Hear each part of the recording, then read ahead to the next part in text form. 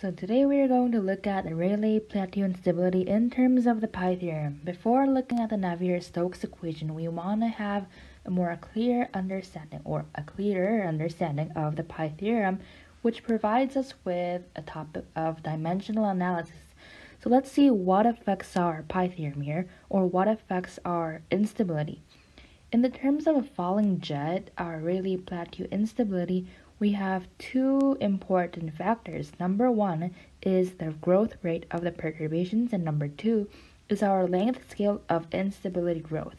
So by perturbations, we mean the things, the stuff that characterizes our disturbances or the main cause of the instability. So because we have these tiny sources of disturbance, tiny sources that disturb, perturb, or annoy the system, this jet will eventually break up and become unstable. And these perturbations or disturbances can be expressed by a set of sinusoids or sine functions that have a certain value of omega and a certain value of k, where omega is the varying growth rate and k is our wave number. And these sinusoidal functions are only a limited number so, I mean, only a limited number of these disturbances are actually unstable. So we will look at how these perturbations can be expressed in our functions in our Navier-Stokes equation. But before we talk more about these tiny disturbances, let's look at how the length scale is affected. So we can say that this length scale is the length over which the fluid turns into droplets. So at first we have a very nice looking cylinder, but with the passage of time, the cylinder will eventually break up into these droplets, these tiny drops you see in the picture below. But there is going to be a certain length that we will call the critical length. So that is the length scale over which the fluid will begin to break up. But if you know the length scale and the jet speed, you will also be able to determine our time scale because time is simply length over speed. So now let's look deeper into the picture and check which values are important in determining our pi theorem. So we have five important factors. Number one, as I said, is our length scale. So although it could be kind of arbitrary, we will define this length, this critical length before breakup as this critical length. And if you look at a fluid system, you have to also consider the certain factors like density, rho, and surface tension, gamma. But we will also consider this radius. Although this radius of the cylinder will become larger and larger with time after the perturbation effects take place, we can say that it's generally going to behave kind of constant until a certain amount of time passes. And also, we have to know this speed of the jet, which we will call u jet. And you might be wondering, well, we have this rho and gamma, but what about mu? What about our viscosity? But we will not be considering the viscous effects here in the Rayleigh-Plateau instability because if the viscous effects become dominant, we have to consider some other sort of parameter. But here we will see that this is the, these viscous effects are not as dominant. So we will only consider these five numbers, L, R, rho, gamma, and U, or U jet. And we will say that N, N is 5, okay? Let's scroll down a little and say that our n is 5. L and rho and R and U and gamma. So uh, we know that L is just the dimension of L length and rho our density is m L to the power of minus 3 and R is also just L. Nu jet it's meter per second so it's going to be L times T to the minus 1 and gamma is going to be m times t to the minus 2. So it's dependent on mass and time. So we know these three, uh, these five n's, and we could probably predict that j, our j is going to be 3 because we have m, l, and t, and we do not have to consider the theta or the temperature effects.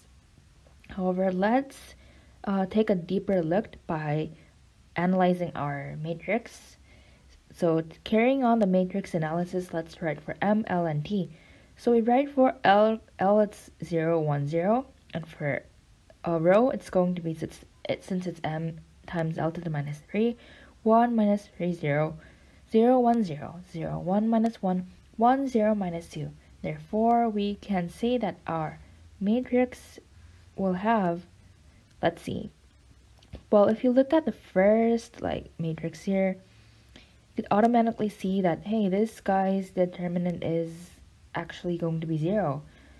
Okay, so let's look at a different one. Let's look at this guy. Well, this guy, its determinant is going to be 1 times, well, 1, 1, 0, minus 1. Okay, so that guy is like minus 1, right? So that's not 0. Okay, so, hey, this guy's, this whole matrix's rank is going to be 3, right? So our j, we can safely assume that this determinant, one of the determinants does not have a 0 value, so our j is safely going to be 3, and our k, which is n minus j, is going to be 2. And as we know, k is the number of dimensionless pi's. Number of dimensionless pi's. Therefore, we can now write the equations for our 2 pi's. So which, which variables do we want to select? Well, we can't select L and we have to select three out of the other four guys. So I want to choose, I want to choose R and rho and let's see, gamma. Okay, so let's first write an equation saying R to the A, rho to the B, and gamma to the C times L critical, which gives our pi 1, and number 2, R to the A, rho to the B, gamma to the C, times U jet, which gives our pi 2. Actually, our first equation, we don't really have to do the Buckingham pi analysis because, well, we know that, well, R and L critical, they have, we both have the dimension L, right? Therefore, we can just, just say that, well, these guys are going to be related to one another. Like L critical over R is going to be our first constant pi 1. But if we just do a quick review of our Buckingham pi theorem, we can see that it is L times A, here as you see, and L M times like ML minus 3 times B, MT minus 2 times C, and L these guys all have to sum up to a dimensionless pi, which will have m to the power of 0, l to the power of 0, and t to the power of 0. So if you add up the m's, it's going to be b plus c equals 0, and l, a minus 3b plus 1 equals 0, t minus 3b minus 2c equals 0. So this will tell us a is minus 1, b is 0, c is 0, the obvious, obvious solution that L critical over R is dimensionless. Number two is more exciting and it gives us the information that we are really seeking. So R to the A, rho to the B, gamma to the C times U jet equals pi 1. If you do the same process, the same procedure, you will see M adds up to 0, L's adds up to 0, and T's adds up to 0. Therefore, we arrive at the conclusion that A is mine is 1 over 2, b is 1 over 2, and c is minus 1 over 2, which is equivalent to saying that our pi 2 is u times rho r over gamma to the power 2, which is our pi 2. So we will say that, of course, pi 1 is a function of pi 2. So pi 1 is a function of pi 2. So what's a better way of saying this? Now that we know what pi 1 and pi 2 are, we can see that L critical over R is a function of who? U times rho R over gamma to the power of 1 over 2. Okay, we have this nice looking information, nice looking relationship, relation for the normalized critical length. And at the beginning, I told you the obvious fact that, well, time scale is length scale over jet speed, if you remember.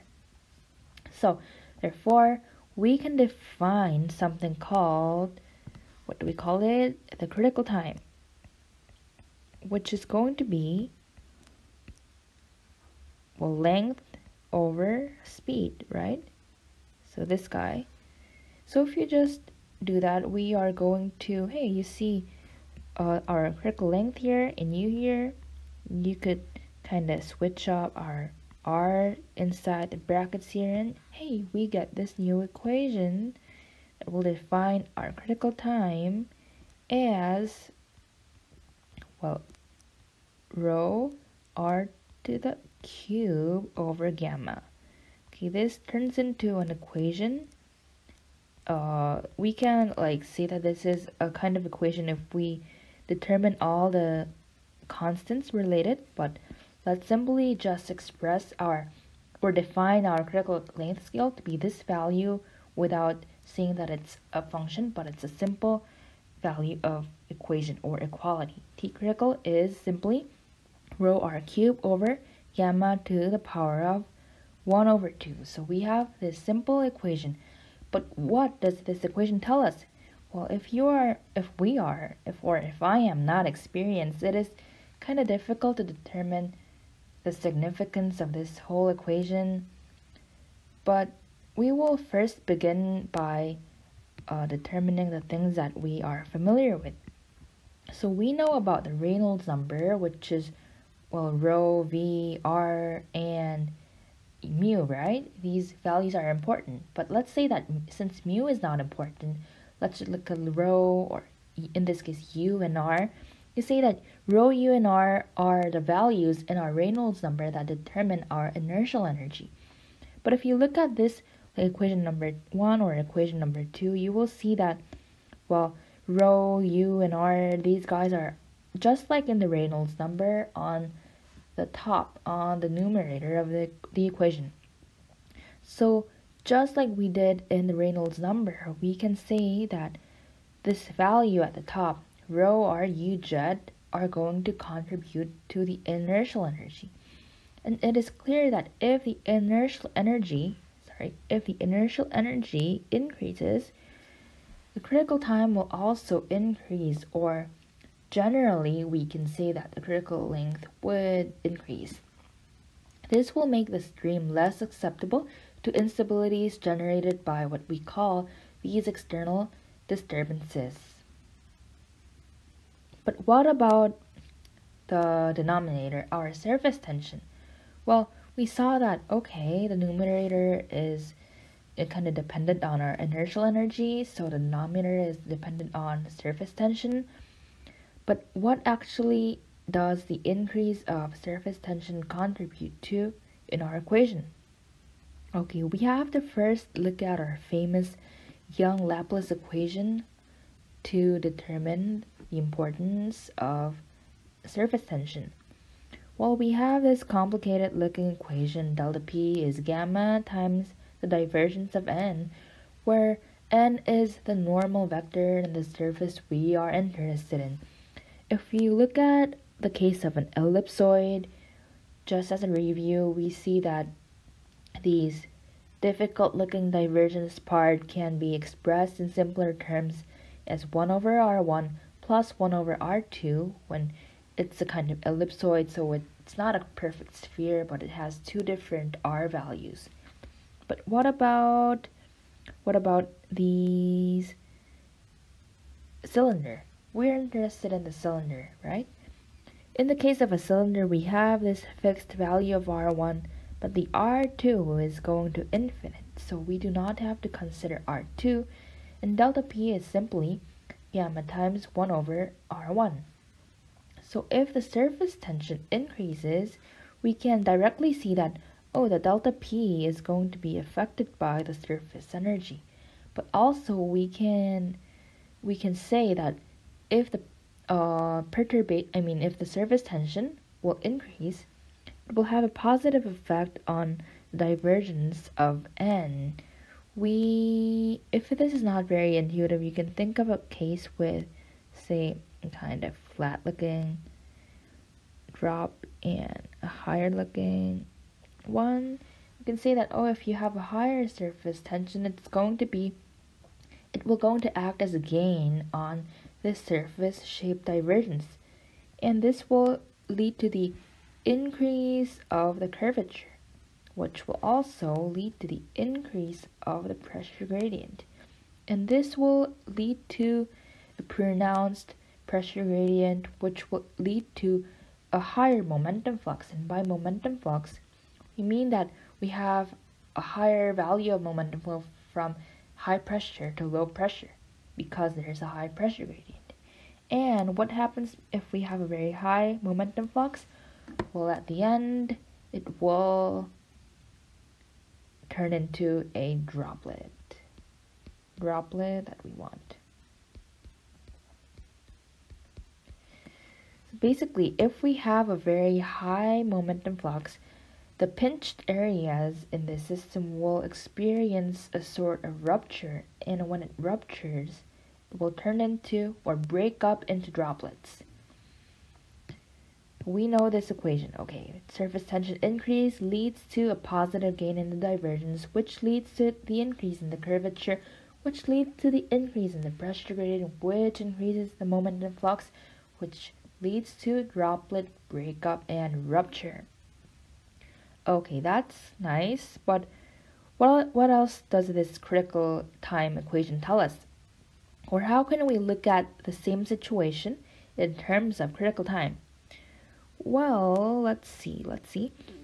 In the case that we have no energy dissipation by stuff like mu, like viscosity, so if we do not have any viscous effects, if there is no presence of viscosity, we can simply say that, well, r rho T critical is a function of R and rho and gamma.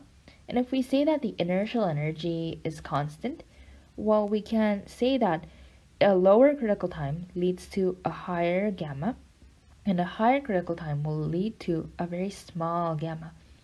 But if we have a small critical time, total energy of the system will primarily be a function of this gamma, the surface tension. But in systems that have a very large critical time, in contrast, the low surface tension has to do more work. It has to work more in order to overcome the numerator part, which is our inertial energy, if it wants to change the shape of the jet to reduce the surface area. Therefore, we can say that it since it takes more time, since you have to do more work, the process will take longer, and a longer process means that we have an increased critical time scale. Okay, so this is our interpretation in terms of energy. And how can we use this same information to actually design an engineering system? So in some applications, we want more droplets, and in some other applications, we do not want droplets.